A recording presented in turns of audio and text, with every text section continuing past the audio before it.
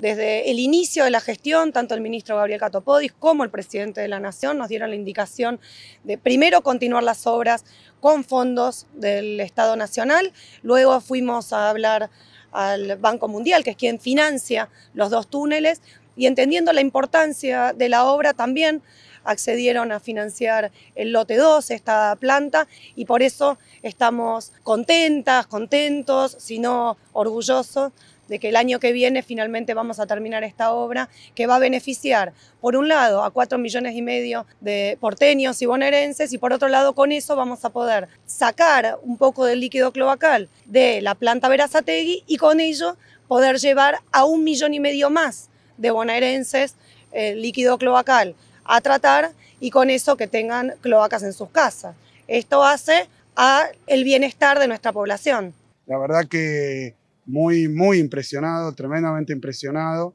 Debería esto ser de conocimiento mucho más masivo y público, lo que está haciendo el Estado Nacional, lo que está haciendo AISA, lo que estamos haciendo eh, en conjunto también con la provincia para una obra tan importante y tan extraordinaria. Yo estaba viendo ahora, me contaba Marcela, que es la que viene llevando esta obra todo este tiempo,